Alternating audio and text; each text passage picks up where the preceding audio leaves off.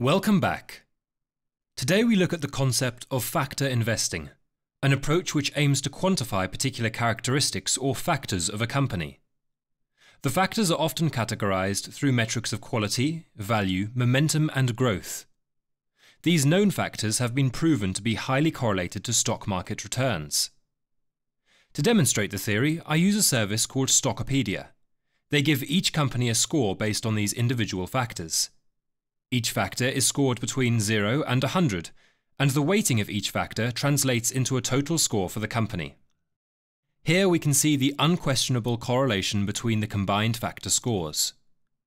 The chart in this example is based on all stocks within Europe, and the factor score used is a combination of quality, value, and momentum, or the QVM stock rank score. To the left, we have the portfolio returns.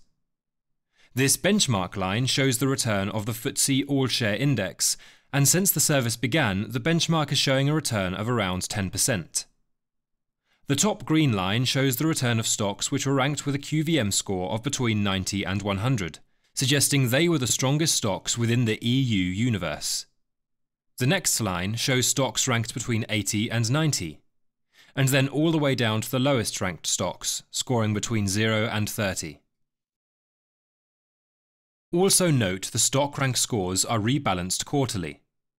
If you applied such a strategy against a portfolio of companies with a stock rank score of between 90 and 100, you would have yielded a return of approximately 200%, in contrast to the FTSE All Share Index of just 10%. In theory, this factor investing approach relies heavily on the fundamental attribute of a stock, but imagine if you combined this approach with technical analysis and applied such analysis to stocks with the best combined factor score. This is the same approach I take. I put fundamental analysis first by evaluating the factors, made easy with the Stockopedia platform, and then follow up with specific technical analysis. Such an approach can be very effective indeed. Let's look at factor investing in more detail. Described as a quantitative approach due to the ability to place a specific number against each piece of information, and condensed into factors of quality, value, and momentum. Personally, I give a higher weighting to the factors of quality and momentum, but only because it suits my style and philosophy. Here we can see how my current portfolio is apportioned in terms of the quality and momentum factors. As you can see by the cluster of blue bubbles, my portfolio is weighted towards good quality stocks which are also classed as leading stocks in terms of momentum. This is another great analytical tool provided by the Stockopedia team. In addition, their research shows that good, leading stocks tends to outperform and lagging, junk stocks tends to underperform. Again, by applying your trading strategy to this portion of stocks, can improve your chances of success considerably. But what are the fundamental criteria used to form the quality, value, and momentum factors? First, we look at quality. This chart shows the performance of quality factors measured from 2013 through to 2018. To the left, the average annual returns and at the bottom of the chart we have the stock scored and ranked based on the quality criteria measured. A quality company is often defined as such by having good profitability, high margins, positive cash flow, adequate liquidity, and low levels of debt. Using these quality factors as a filter to find good companies proved very effective. The correlation between the quality metrics being measured and the annual returns was near perfect. We can see that stocks which were scored between 0 and 10 and classed as very low quality returned on average a negative 12.5% return. The correlation between quality scores and annual returns continued right through to the top ranked score, generating an average annual return of around 13%. Perhaps eliminating this group of low quality stocks from your strategy would be a good starting point. Next, we have the value factor and its performance over the same six year period.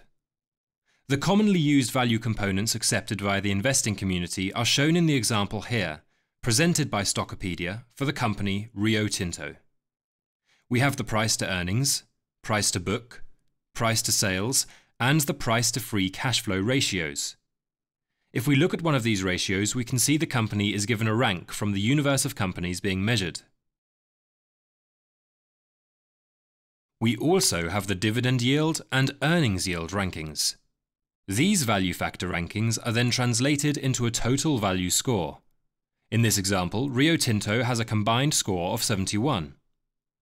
Once again, the scores are categorized from 0 to 100, and the universe of stocks are placed accordingly into these groups. We see the same high correlation between annual returns and value rank, with the most expensive stocks showing an average loss of 4% per year, whilst the cheapest stocks saw an average annual return of over 10% per year. Whichever strategy you use, it could be wise to avoid companies with a very low value score. Next we have the factor which I hold in a higher regard, and that is the momentum factor.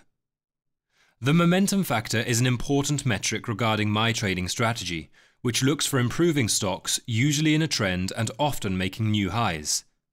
The factors chosen by Stockopedia are categorized by price and by earnings.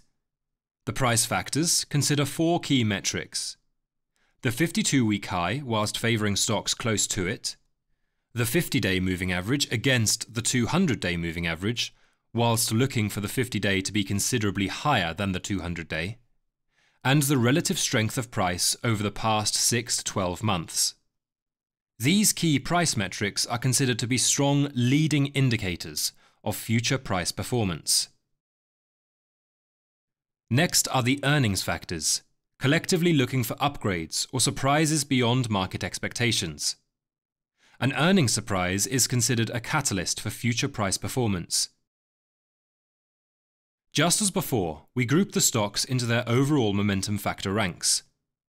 We see the same strong correlation between the momentum ranks and average annual returns, although this time we see that the highest ranking group see a commendable average annual return of 20% over the six years measured. Again, avoiding the deteriorating stocks showing low momentum could be a wise strategy decision, or perhaps applying your strategy to only the very best improving stocks showing the highest momentum an even smarter decision. Remember, by combining the quality, value and momentum factors together, Stockopedia formed what they refer to as the QVM stock rank. And just as we did for each single factor, the collective stock rank is scored into buckets, ranging from 0 to 100.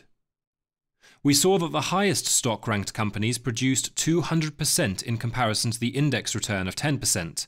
However, we can take this dataset a step further to see that not only are the returns higher, but the probability of selecting a profitable stock is greater. We can see here that the lowest ranked stocks, which are a combination of quality, value and momentum factors, provided a 33% probability of picking a winning stock when measured over the following 12-month period. Conversely, the highest ranked stocks provided a 67% probability of picking a winning stock. Again, the correlation between the factor rankings and the probability of success is profound. Using these combined QVM factors, we can see that benefits are seen across a broad range of sectors too. The stocks within the 80 to 100 stock rank range saw a predominantly even distribution across the sectors, with healthcare showing average annual returns of 31%, through to energy returning an average 3%. On the opposite side, stocks which were given a factor score of between 0 to 20 saw a sporadic loss distribution of between 0 and 31%, but although sporadic, none of the sectors within this low stock rank group saw a positive return. Finally, we have market capitalization. Using the same stock rank scores based on the QVM factors, we can see that stocks which are considered microcaps saw an average annual return of 28%, Interestingly, and perhaps the only anomaly we have seen up to now, is that even the lowest ranked stocks managed positive annual returns of 8%. The results for each market cap group thereafter speak for themselves. Ultimately, whether you're a fundamentalist or a pure technical analyst, factor investing certainly has its place. By filtering the cheap from the expensive, the junk from the quality, or even the deteriorating from the improving, you can beat market returns significantly.